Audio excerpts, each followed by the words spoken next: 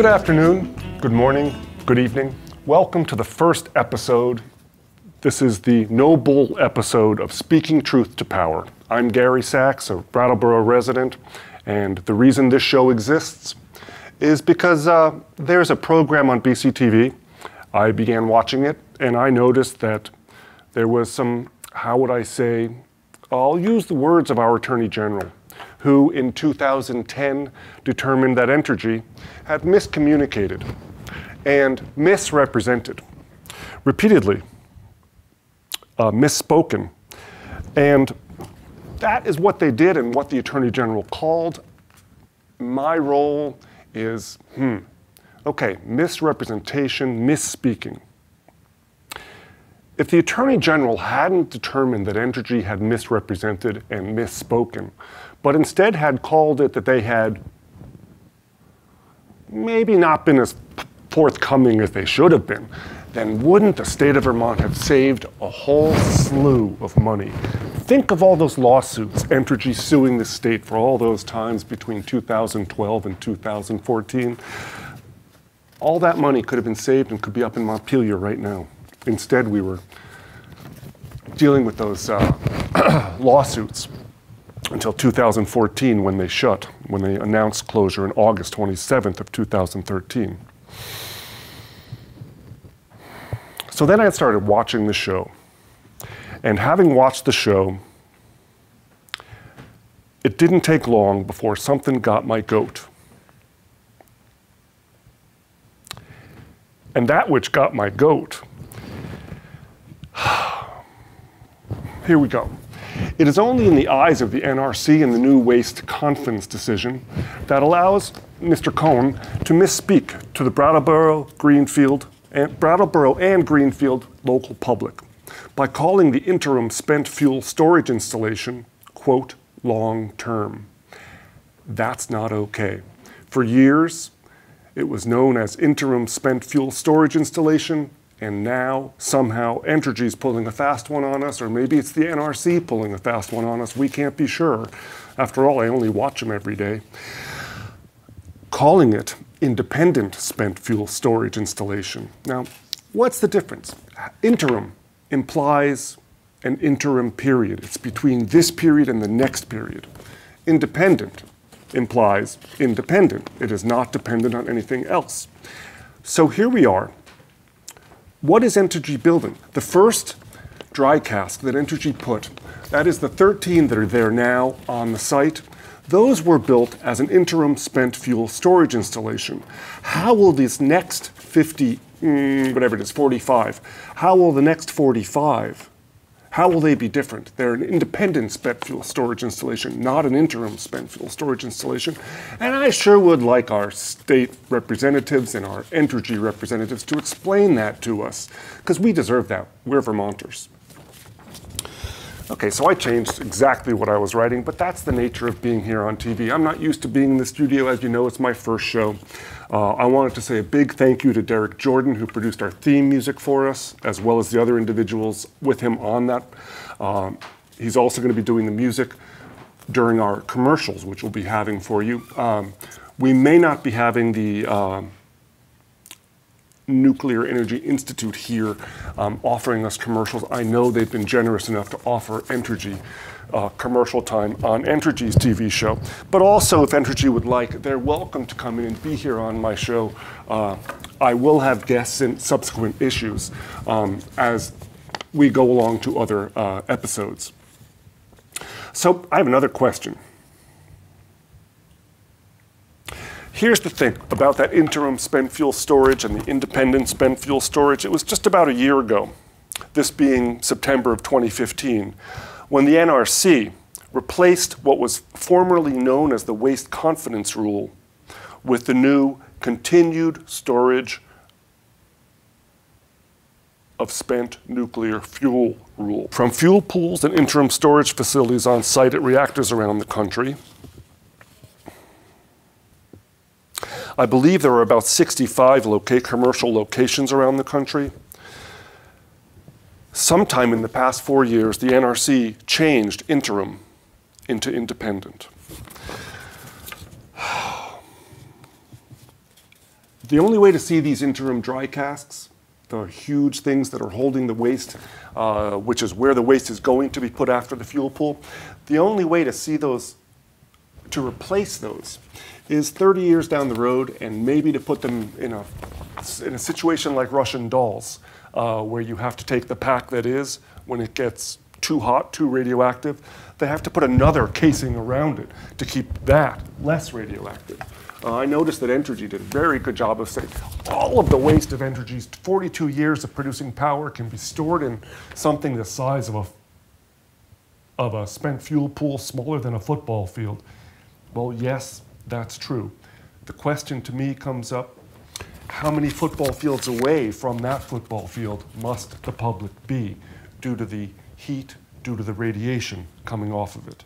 Uh, it's not just heat in terms of thermal heat, it is heat in terms of radiation coming off of the dry casks.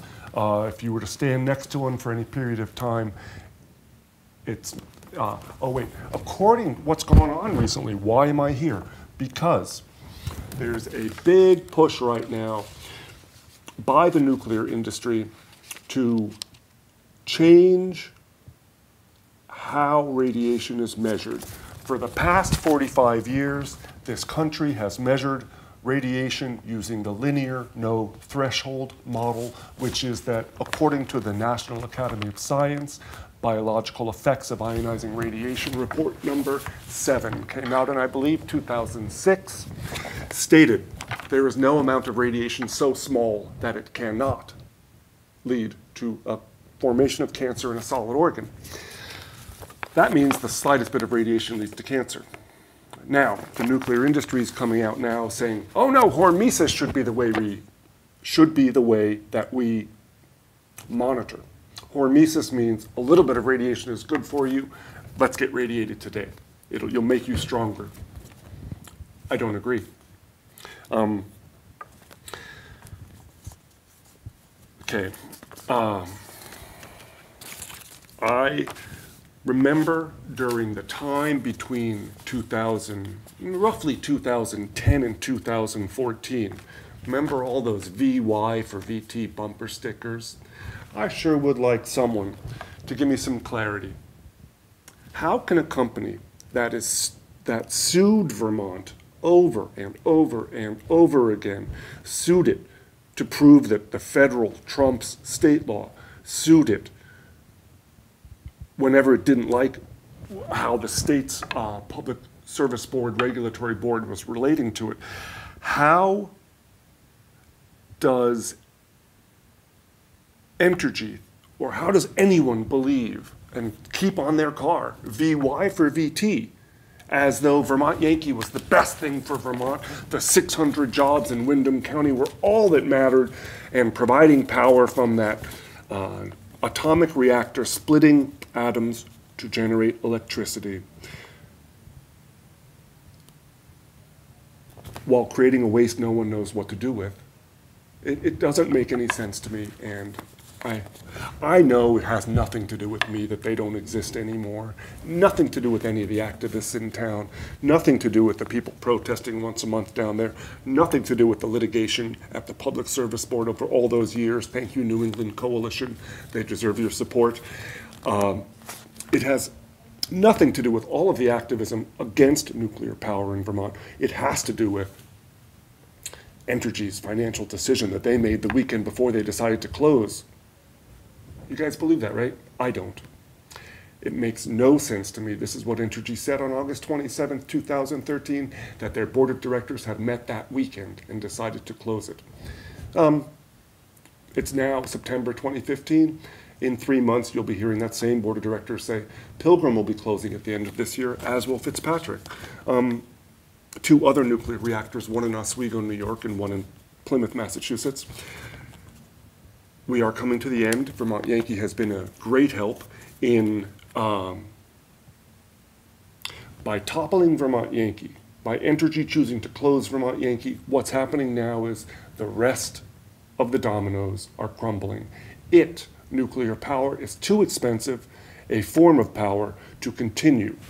There is no reason to spend 12 to 19 billion dollars to create a reactor that will provide power from a centralized source at far too much money compared to other power sources today.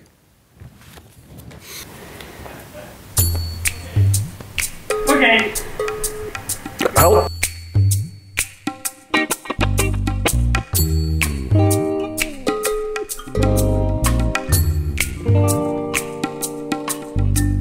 Um, greetings, welcome back. Uh, Speaking Truth to Power, this is the No Bull edition, the first edition of our show. Again, great thanks to Derek Jordan for his music. Uh, my name is Gary Sachs. I'm a resident of Brattleboro, and um, my intention now is to speak a bit about uh, the Attorney General Office's investigation of Entergy in 2010, and that was the result of uh, a, the mis, they found that Entergy had misspoken and misrepresented. Um, the Attorney General Office investigation readily leads to the conclusion that Envi, Entergy Nuclear Vermont Yankee, and various of its personnel repeatedly misled state officials with direct misstatements and repeatedly failed to clarify misperceptions as to the existence of underground piping carrying radioactivity. These actions and inactions were at best negligent. Uh, I was there, I was in the hearing rooms, I heard them multiple times state that uh, they had, used to have one pipe underground which had been capped. Quote, we consider this issue closed, is how numerous Entergy personnel spoke about the underground piping that they said didn't exist in 2009. And it wasn't until October of 2009 when Entergy first found in a test well that, in fact, tritium was found, and that is a radioactive substance. Uh, there's also cobalt 60, there's also uh, strontium 90, uh, a few others they found leaking from the construction office building, uh, the well beneath the uh, construction office building on the site there. Uh, that's, I believe, quite close to where Entergy wants to put the second pad.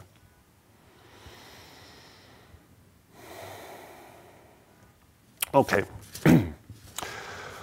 In one of his first shows, Mr. Cohn of Entergy uh, spoke with Mr. Lynch, the external affairs manager for Entergy.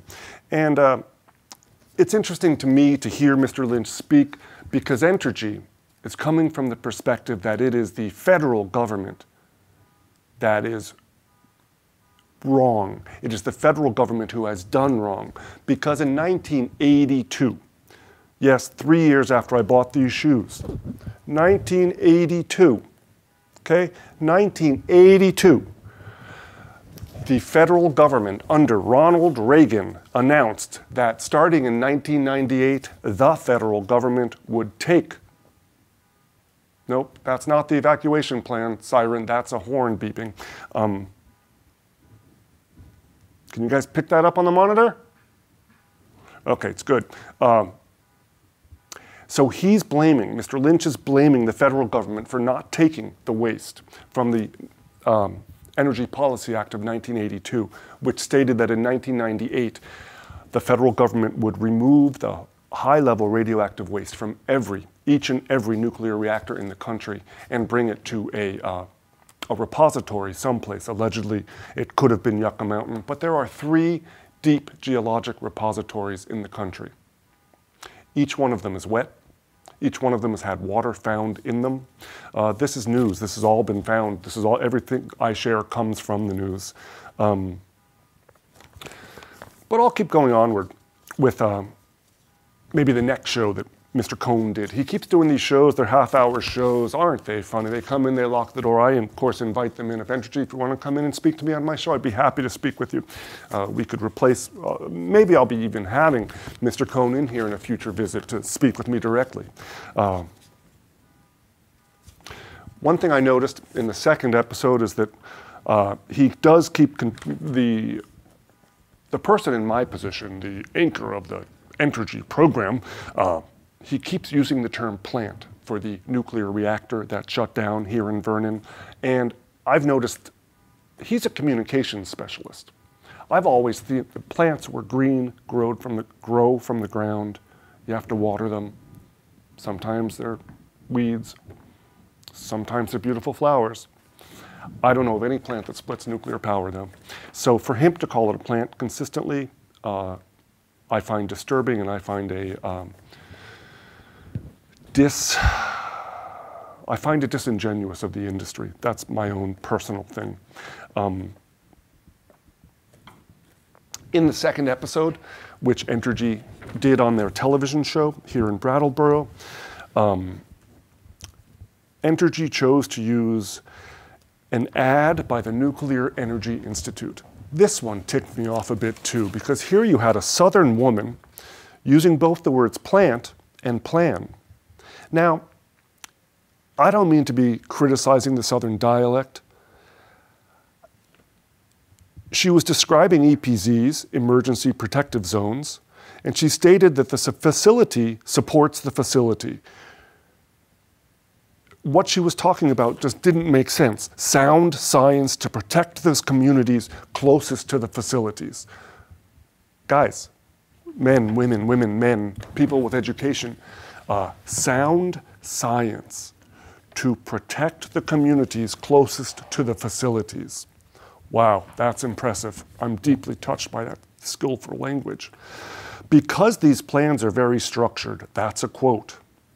We have had very good integrated training programs and evaluated exercises to know what action they are going to take based on the cl classification level. Uh, these plants have been matured over decades. Hello, these plants have been matured. They haven't matured, they have been matured by the workers who run them. I'm more and more scared as we go. Takes care of page two.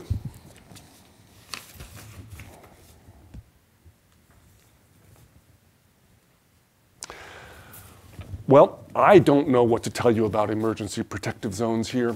Uh, my understanding is that New Hampshire just received a bunch of money from Entergy. Massachusetts just received a bunch of money from Entergy.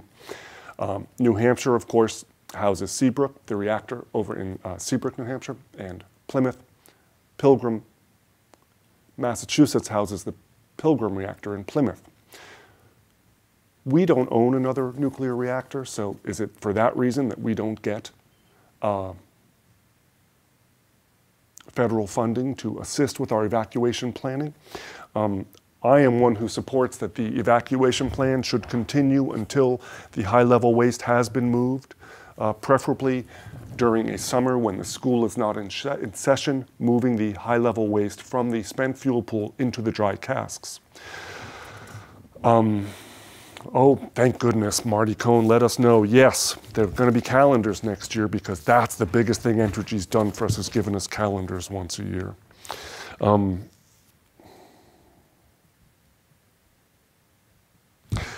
I heard Mr. Cohn speak about the hostile action exercises that Entergy has, uh, that the workers at Entergy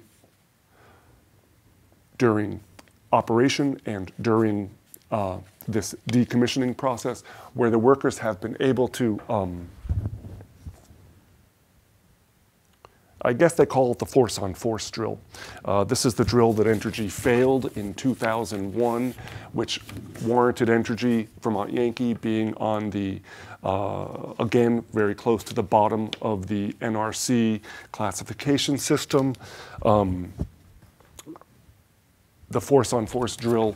Um, now, how the force on force drill and how the EPZ drills happen, I've been told. Everyone is notified two days in advance. Everyone is notified two days in advance. Bus drivers notified two days in advance. What kind of emergency drill is that?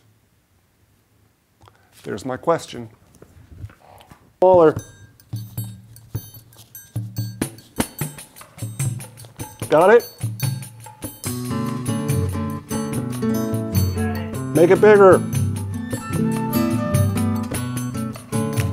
Well, I got a phone call. Ah, good afternoon. How can I help you? Hello. Hello, you're on the air. Happy anniversary. Yes, and to you too. I am walking you. Okay. How close are you to being done? I have no idea. I've just finished my second commercial. Ah, okay, so uh, then I will see it in the library, Oh. Okay. and you can let me know when you're done. Okay. Okay, bye. Bye.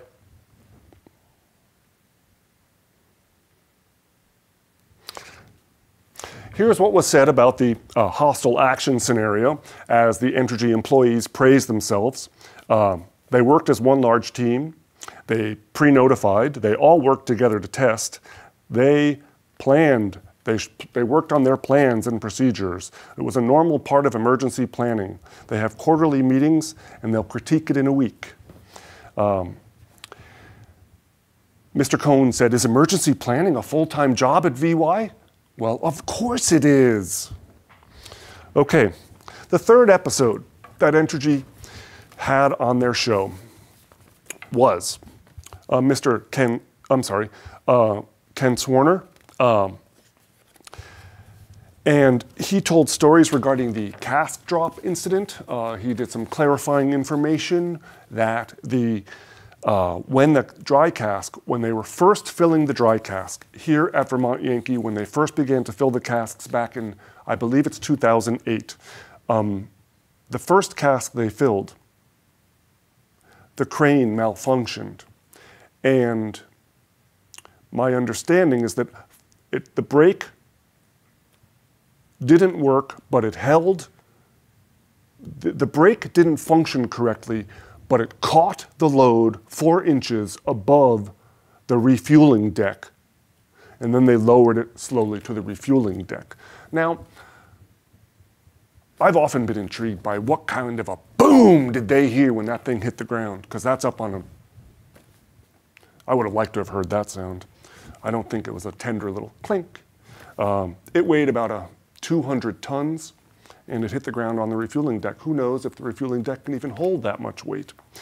Uh, it did, unlike the stator in Arkansas, one which fell and killed someone on Easter uh, two years ago. Rest in peace. Entergy, those are the other two Entergy, um, Arkansas 1 and Arkansas 2, aside from the Plymouth Pilgrim reactor, are the three Entergy reactors currently on the, the white category of the NRC color coded. That means that if any more mess ups and it's close to being shut down, uh, the NRC does not have a history of shutting down reactors. Uh, I think they did shut San Onofre, though. Um, maybe I'm wrong. If somebody wants to call me and clarify that, I welcome that. Um, let's go to the third episode. Mr. Ken Swarner, stories about the cask drop on the refueling floor. He claims that putting the waste in the pool with the borated water circulating around it is less efficient than having it in the dry casks. Um, I believe the dry casks are a way to permit Entergy to leave the scene for 50 years before they clean it up. Um, if I had my druthers, I would like to see Entergy clean up the waste just like they did at uh, Maine Yankee, just like they did at uh, Yankee Rowe, Connecticut Yankee, and get out of here. They could be out of here and gone by 2025, and I don't know if they have the uh, wherewithal to do that. I don't know why they want to continue their relationship with Vermont. Okay, so the Entergy. How did you choose Holtec? Who cares? Um, they were the winner in bidding for the offer, licensed by the NRC. It was used, tested, and approved. Uh huh. So how did we end up with five of the eight, ca- five of our 13 casks that were not helium leak rate tested? That doesn't make sense. They didn't do their job. They weren't tested. Um, now, what's interesting to me in the middle of this third show, fascinating to me, in fact, is there's another ad. And this ad is from the NEI. And in this ad, it says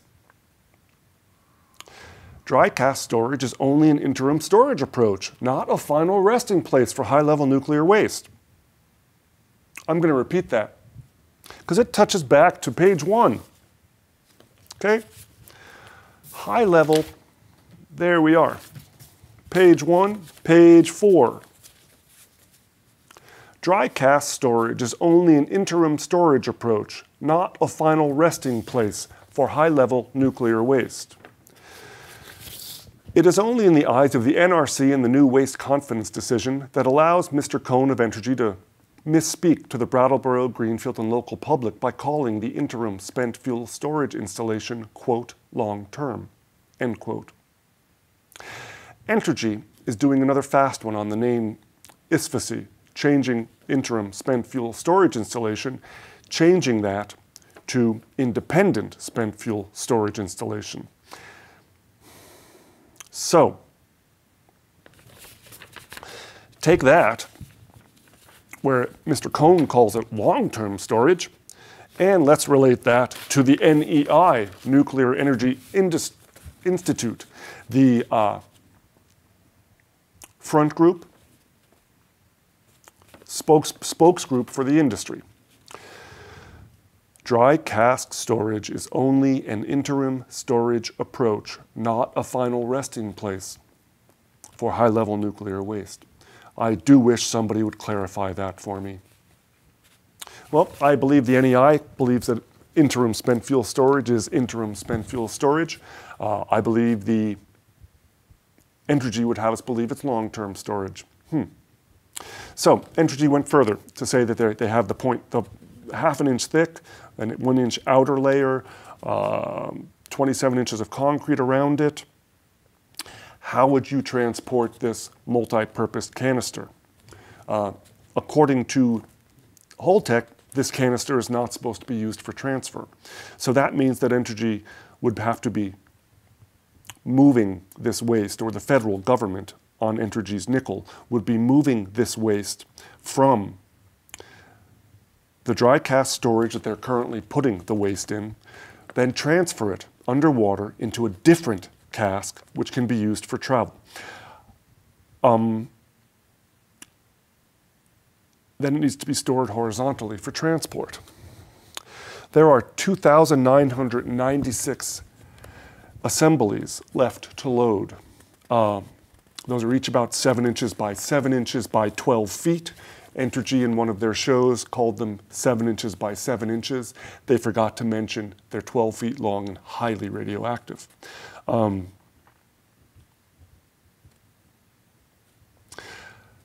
I wonder how Entergy intends to care for them in 20 years, in 30 years, or in 100 years, or is it that they expect, as I understand it,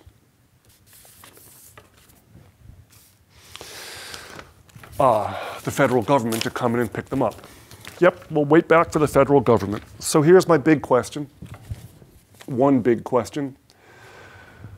What occurs here is Entergy getting off the hook by playing nice. TV show misspeak, misinformation campaign, no more lawsuits. Then they stick Vermont with a lousy choice of cask maintenance or replacement when it should be on Entergy's nickel. Uh, it should be on the reactors that create the waste, not the state that house the waste to replace the casks uh, for transport in 30, 50, or 100 years. Uh, I sure hope that can happen again. Entergy should be the outfit. Regardless of the agreement made with the state after the closure of the reactor, Entergy should be the outfit that affords the shifting of the waste from these casks, which are storage casks only, to the transfer casks when the Department of Energy comes to take the waste away.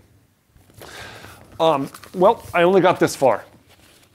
First day, this far, no one to interview, no one to make fun of even. Well, I appreciate uh, your having watched the show. You are watching uh, Speaking Truth to Power. I am Gary Sachs. I live here in Brattleboro, Vermont. I'm happy to be your host here. My intention is to speak truth to power in all its forms. Uh, today happened to be about nuclear power. The next issue will be about putting the seat down. Talk to you later. Have fun. Thank you.